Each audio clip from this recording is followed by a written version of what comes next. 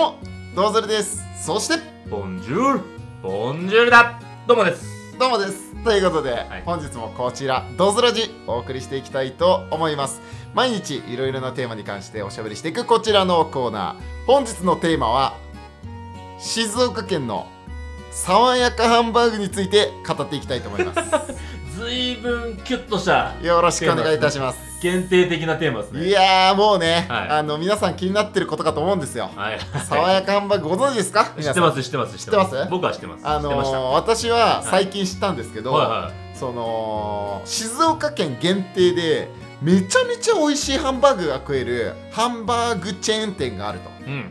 言ったところでそれが名前が爽やかっていうハンバーグ屋さんなんですよ、ううんうんでもどれぐらい美味しいかっていうと生放送で爽やかの話をすると爽やかを食べに東京から、あのー静岡まで行く人もたくさんいてえ？でもう聞く話によると、うん。もう7時間8時間並ぶみたいな。え？え？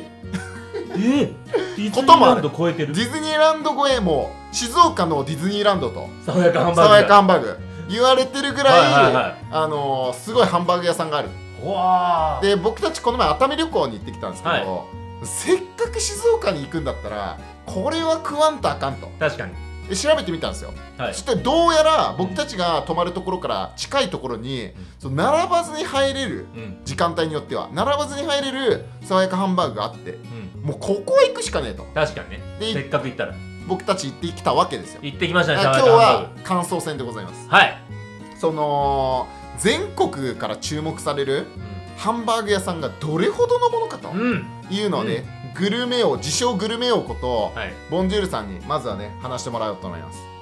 爽やかハンバーグについて。爽やかハンバーグについて、まずですねはい。爽やかハンバーグ着いたらはい。あのメニューがありました。メニューありますよ。メニューありました。はいメニューありました。ハンバーグいろいろ並んであハンバーグの中にステーキもあるんですよね。あそうなんですよ。ハンバーグステーキその他もろもろいろいろあります。そうそうそうはい。まあまあ言うてビビンバ丼とかもありましたありましたね。そう。超惹かれたんですよね。ビビンバ。ビビンバ光はしない。ビビンバ。光はしない爽やかハンバーグ初めて行ってビビンバ丼みたいなの食ったらはい。面白いんじゃねえかと思ってさすがに食べまあまあまあまあちゃんとハンバーグ食べましたよあ食べました、はいそうそうそうそれでやっぱりハンバーグあ。のなんていうんですかね周りだけ、はい。表面をあの頼んでハンバーグ食べてるうちらは表面だけ焼いて持ってきてくれるんですよね。そうですそうです。はい。網で。はい。でその我々の目の前に置かれた鉄板でさらにさらに焼きますと。そのザクッと2つに切ってねそうそう。真っ二つにしてジューッと。はい中が中がまだ半生なんですよ。はいはいはい。で焼いてくれると。そこでですよ。僕が食べた時にまあちょっとその焼いてる様を動画撮りたいじゃないですはい動画撮りたいです。かはいその時に、えー、と我々の一緒に我々と一緒に行ったエメドラさん。いましたよ某ねエメドラ氏某エメドラ氏がいましたいましたいました。動画を撮ると。はい撮りました。僕のね、はい。焼いてる僕のハンバーグを撮焼いてる撮ろうとしてました。撮ろうとしてましたね、はい。まあもたもたもたもた。まあもたもたもたもた仕上がって、はいはいそのもう店員さん待ってるのに。そう。き切っていいですか？みたいな雰囲気出しててあちょっと待ってください。そカメラ起動するだけなのにそう。30秒ぐらいそう。はい。まあもたもたして、うん。その間に、はい。鉄板が冷めまして。はい。はい。僕の爽やかハンはいバーグ。がはいは半生でほぼほぼ半生いいでやあれはちょっと待ってまずまず一つ言いたいのは、はい。ボンさんはハンバーグのレビューじゃなくて、はい。ただのエメドラさんへのディスです 今のは今のは。今のは別にみんな求めてないでしょ。求めてない求めてるることを話してください。あでさらに言うとあれは一回もう熱は通ってるんであなるほどなるほど。赤くても大丈夫なんですなるほどなるほど、はい、牛肉っていうのは。うん。だからレアでいただくっていうのがあそこの爽やかハンバーグの売りなんで。もちろんもちろんもちろん。ああれでいいんですよ。あれでいいんですよ 生だからお腹壊してないでしょ。減いい加減全然壊してない。全然壊してないいい加減味の話します。お願いします。でまあまあ一言で言えば、はい。美味しかった。それだけかい。それだけかい。よくグルメを名乗りましたね逆に。いやはい。そうだ。あと付け加えれば、はいなんですか下味が美味しかった。いやボンさんね食べてる間もずっと下味下味言ってるんですけど 下味わかるんですか？そのどういうことですか？下味が下味が下味が。しっかりついてるな。味が味がするってことですか？はいはいはい。はいソースが、うん。あのデミグラスソース。ああ2種類あります、はい、もしくは、なんだなんかなんかなんかさっぱりしたやつ。あのー、おオニオ。ンオニオンなんとかありました。はいありました。2種類しかないですよね、はいはい。そうそうだから自信あるなと思って。感想が薄いマジで。感想薄そうだな。今美味しかったです美味しかったはいはいはい。あでもあの僕も美味しかったのは賛成で、はい。今まで人生で食ったことがあるハンバーグの中で1位だったんですよ。ほハンバーグ界ドズルのハンバーグ界の中で1位でした、はい。はい結構いろいろ美味しいとこも食べ行ったんですけど、はまあ一番美味しいだろう。はいはいはい。ただですよ。ただ？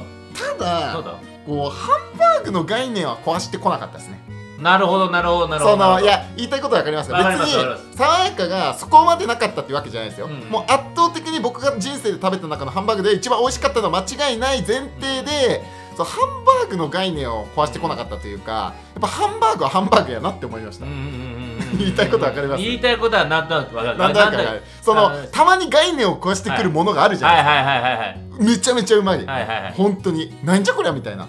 そこまではいかなかった。だから逆にじゃあ次行った時に3時間待ちですって言われたら僕は並ばない。なるほどなるほどってなるほど。いう結論。なるほど。要要するに、はい。期待には応えてくれたけそうどそ裏切っては来なかったと。ういやーそうですね。いい意味でも裏切、うん。いい意味でも悪い意味でも裏切りはなかった。なかったですね。あーいうところですね。だってドズルさんずっとあのー桃のカルピス褒めてましたもん これはうまい。いやあそこねあの爽やかハンバーグはごめんもう一個今はあのハンバーグの味の話をしたんですけどまず接客がめちゃめちゃ良かった。そう。そう。であと店内もめちゃめちゃ綺麗で、であのー店員さんもみんなこう接客良くて、かつその迅速だったんですよ。料理出てくるのも早いしそのなんていうんですかカルピスもうまいと。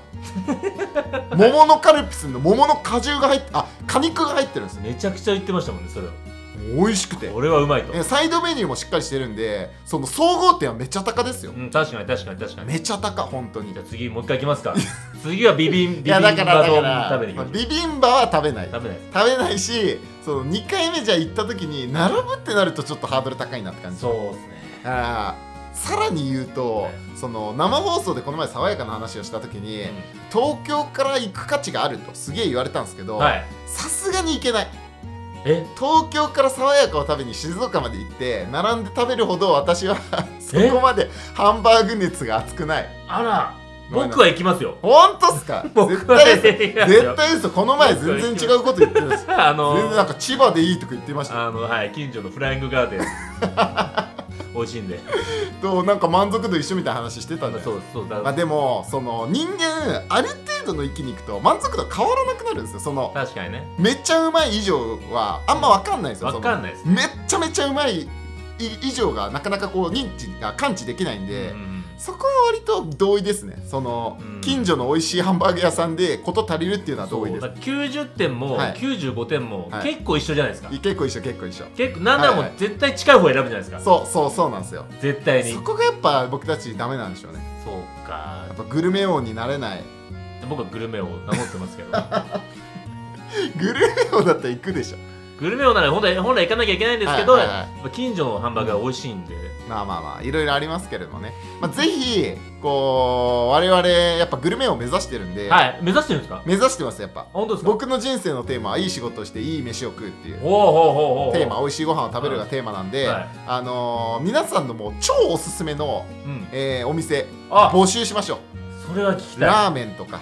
聞きたい。ラーメンいいっすね。カレー。カレ僕カレー大好きなんですよ。ーカレー好きなんですか？カレー大好きです。あなるほどなるほど。カレーも大好物ベスト3に入る。あとはまああの海鮮だったりだとか。はい、まあ皆さんのね、えー近所でもうここはもう東京から来てでも食ってほしいとうん。いうところがあればですねコメントで教えていただければ行く可能性もあると。僕焼き鳥とか。焼き鳥好きなんですか？焼き鳥好きなんですよ。焼き鳥っては一番難しくないですか？そのえ？割と90点出やすいじゃないですか。うん確かに確かにビールと焼き鳥あれば、にはい。焼き鳥のクオリティそこそこだったら90点出るじゃないですか。出ますな。出ますな。ここが100点が難しいかもしれませんけどね。そうだな。はい、えーぜひね皆さんおすすめの居酒屋もしくはおすすめのご飯屋さんあれば教えていただけると幸いでございます。えボンさん一番牛タンが好きなんでしょ？僕牛タン好きです。じゃあ仙台行きました？